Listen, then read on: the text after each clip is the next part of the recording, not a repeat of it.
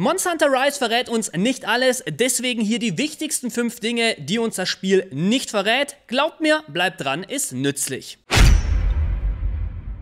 Servus Monster Hunter Freunde, ich bin's Corypheus und bei mir dreht sich alles um Monster Hunter Rise. Wer Neuigkeiten oder Guide-Videos sucht, ist hier auf jeden Fall Gold richtig. Könnt gerne mit dem Abo dabei bleiben, wird auf jeden Fall eine richtig geile Rise-Zeit. Heute geht's um die fünf wichtigsten Dinge, die uns Monster Hunter Rise eben nicht verrät. Bevor wir ins Video eintauchen, würde ich mich noch mega über einen Daumen nach oben freuen. Und wer noch andere Leute sucht zum Spielen, kann mal gerne auf meinem Discord-Server beitreten. Chats und Gruppen sind dort erstellt. 4000 Monster Hunter Fans sind dort unterwegs. Da wird man auf jeden Fall fündig. Link dazu ist unten in der Videobeschreibung. Starten wir direkt mit dem ersten Punkt. Wie kann man geheime Rüstungen freischalten? Da gibt es mehrere Wege. Ich rede jetzt nicht von den normalen Monsterrüstungen oder von den Rüstungen von den kleinen Monstern, sondern von Rüstungen, die man bei den Miausterjäger, bei den U-Booten oder bei den Arena-Quests bekommt. Eine mega coole Sache.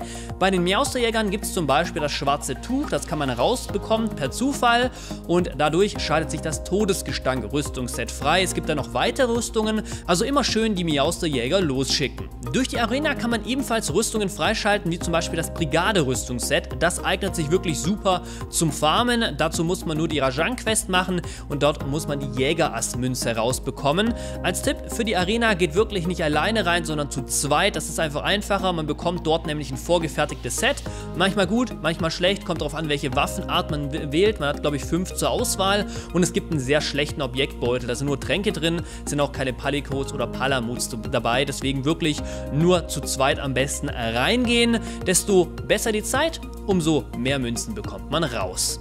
Auch bei den U-Booten kann man richtig coole Rüstungen rausbekommen. Bei jedem Objekt stehen unten immer so seltene Zutaten oder Produkte mit dabei und die kommen mit Glück eben einfach auch beim Sammeln raus. Die sind dann einfach in der Reihe mit drinnen. Bei mir ist es zum Beispiel der Gift-Komori drin gewesen und damit schaltet man zum Beispiel die Spio-Rüstung oder das Set eher gesagt frei und die Hüfte hat sogar einen Zweier Schwächevorteil. Aktuell in vielen Sets Meta, deswegen schaut wirklich, dass ihr immer alle Kategorien einmal anklickt oder mal farmen lasst und schaut, dass ihr da da eben die seltenen Produkte herausbekommt. Ihr könnt noch auf Buddy Falschen gehen, wenn der hoch genug im Level ist, könnt ihr die Chance sogar noch erhöhen, dass es eben schneller funktioniert, diese seltenen Materialien rauszubekommen. Deswegen immer wieder die U-Boote losschicken. Punkt Nummer zwei ist die Eule und der Rabe. Das kennen vielleicht einige von euch schon. Die tauchen immer wieder zufällig auf der Quest auf. Man sieht sie auf der Minimap. Ein blaues Symbol ist der Rabe und ein braunes Symbol ist die Eule. Wenn man einen von beiden sieht, sollte man den sofort einfangen. Beim Raben hat man die Chance auf mehr Belohnungen im Endbildschirm. Heißt, ihr solltet auf jeden Fall das Monster fangen. Mein Kollege Sera hat so bei Magna Malo drei fette Edelsteine rausbekommen. Ich bin leider leer ausgegangen. Man hat eben nur eine gewisse Chance. Das ist aber auf jeden Fall richtig krass. Deswegen immer den Raben einsammeln und die Eule erhöht die Sennys am Ende der Quest. Auch nicht schlecht, gerade wenn man ein bisschen weniger Geld hat. Deswegen immer auf die Minimap achten.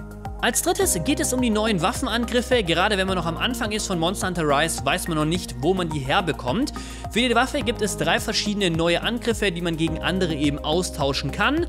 Die ersten Angriffe bekommt man, wenn man Magna Malo besiegt hat und in den High Rank rein startet mit vier Sternen in der Versammlungsstätte. Da geht es dann weiter und man geht dann einfach zu Meister Utsushi und der gibt euch dann eben die ersten 14 neuen Waffenangriffe. Im Endeffekt für jede Waffe einen Angriff. Im Laufe des High Ranks bekommt ihr auch noch weitere Quests von ihm. Einfach die wichtigsten HR-Quests abschließen, einen Rang aufsteigen und dadurch immer wieder bei ihm vorbeischauen. Dann gibt er euch eine ganze Latte von neuen Quests. Ihr seht das Ganze auch bei mir, die sind normalerweise immer auf der zweiten Seite. Hier zum Beispiel jetzt für Schwertschild bei 4 Sternen, Jagdhorn ebenfalls, Morph-Axt und leichtes Bogengewehr. Bei 5 Sternen sieht das Ganze anders aus. Da seht ihr, da ist das für Großschwert drin, Hammer, Lanze, Energieklinge und das schwere Bogengewehr. Und bei 6 Sternen seht ihr auch hier Langschwert, Doppelklingen, Gewehrlanze, Insektengläfe und zuletzt der Bogen. Die dritten neuen Angriffe bekommt ihr, wenn ihr drei verschiedene Waffen der Kategorie herstellt. Sie müssen aber im High Rank drin sein, also schon ein bisschen aufgewertet. Sobald ihr drei im High Rank besitzt, zum Beispiel vom Hammer, wie ich jetzt, habe mir da gerade drei verschiedene hergestellt, dann geht ihr einfach zu Meister Utsushi und der gibt euch dann wie gesagt den neuen Move von der Waffe. Ihr könnt dann einfach zu eurer Tour hingehen, sobald ihr einen neuen Angriff habt und dann unter Wechselkünste könnt ihr dann eben den anderen Angriff auswählen. Am besten wie immer in den Trainingsraum reingehen, den Angriff auswählen und den dann gemütlich testen.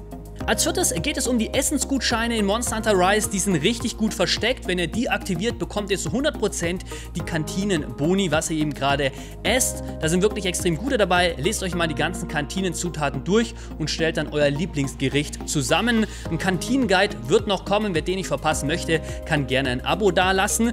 Grüße gehen an dieser Stelle an meinen Kollegen Haki raus, der mir das Ganze gezeigt hat, wo man eben diese Kantinengutscheine herbekommt. Setzt euch einfach an die Kantine hin und klickt auf die bunte Mischung. Stellt dann einfach ein Objekt her. Ihr bekommt dann ein paar Sachen, entweder von der Katze oder von Yomogi. Kommt darauf an, ob ihr in der Versammlungsstätte oder eben im Dorf draußen das Ganze macht. Danach geht ihr einfach auf eine Quest und wenn ihr von dieser Quest wiederkommt, seht ihr bei der Katze oder bei Yomogi eben so ein gelbes Ausrufezeichen oder wie soll ich sagen, eine Sprechblase, einfach ansprechen und ihr bekommt dann von denen ein paar Gutscheine. Als fünftes geht es um die Waffendesigns. Das ist echt ein verwirrendes Thema in Monster Hunter Rise. Die Anfragen bekommt man schon relativ früh, die Quests dafür. Es handelt sich hierbei aber nicht um Deko-Waffen oder Deko-Rüstungen, sondern um ganz normale Waffen, die man beim Schmied herstellen kann. Gerade wenn man neu ist oder noch nicht so weit im Spiel, denkt man, man guckt einfach in die Truhe rein unter Anpassungen und kann da eben, wie gesagt, dann dieses diese Deko oder eher gesagt dieses Design auswählen. Es sind aber wirklich ganz normale Waffen,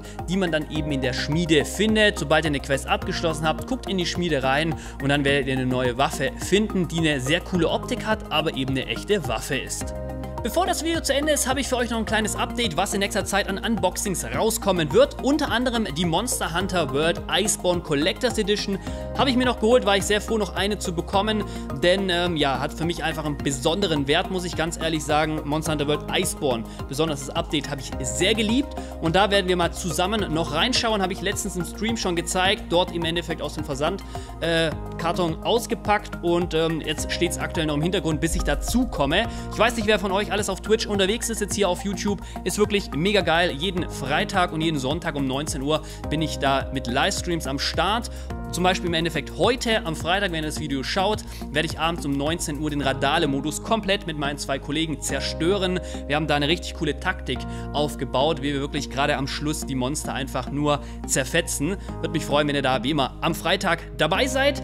Dann habe ich auch noch was weiteres von Nintendo bekommen. Mega geil, dass die mich da unterstützt haben, haben sie mir zugesendet. Das Ganze wird ausgepackt. Wir werden es uns anschauen und dann werde ich das verlosen. Die Frage ist nur wann. Angedacht war es für 100.000 Abonnenten sind ein bisschen weit davon noch entfernt. Ich glaube, wir brauchen noch 6500 Abonnenten. Mal schauen, wie schnell das kommt.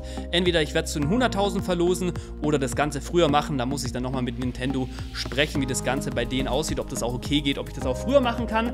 Ansonsten habe ich hier noch dieses Teil bestellt für mich selber, ähm, um einfach äh, ja auch so eine Amiibo-Figur zu haben von Magna Malo. Finde ich cool und bekommt da was richtig Nices und dazu wird es im Endeffekt auch noch ein Video geben. Das war soweit jetzt zu diesem Video. Ich hoffe, das Video hat euch gefallen gefallen, geholfen. Ihr wisst noch mal ein bisschen mehr zu Monster Hunter Rise und seid auch beim nächsten Video mit dabei. Ich würde mich über einen Daumen freuen und ansonsten wünsche ich euch viel Spaß beim Zocken. Ich bin weg. Ciao. Haut rein.